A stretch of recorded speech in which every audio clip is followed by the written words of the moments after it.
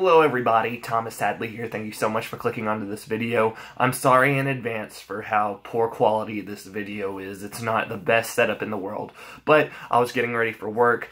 I saw that there is a new song by Taylor Swift and Brendon Urie from Panic at the Disco, and I wanted to just talk about it real quick. It's not going to be super in depth or anything like that, but let me tell you how I feel about this song. I think that it's a happy go get 'em song. It reminds me a lot, which is obviously it reminds me a lot of Taylor Swift's style and Panic at the Disco style. So obviously the two coming together, they would fuse their styles together. But it also reminded me a lot of Jonas Brothers' new style, but not their newest stuff back in 2014, I believe it was, when they released a song called Pom Poms. That the song reminds me a lot of Pom Poms.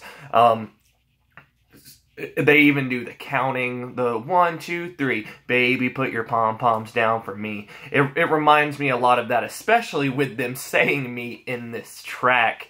It does have that vibe, to me, anyways. So, vocally, obviously, Brendon Urie is gonna give it 110% every time he does a vocal performance, and I think here it's no different. Taylor Swift as well. She has an amazing voice, and even with, you know, the effects that they put on the voices, it still sounds really well done, greatly produced. It's a good song overall. I feel like it's fun. There's not much...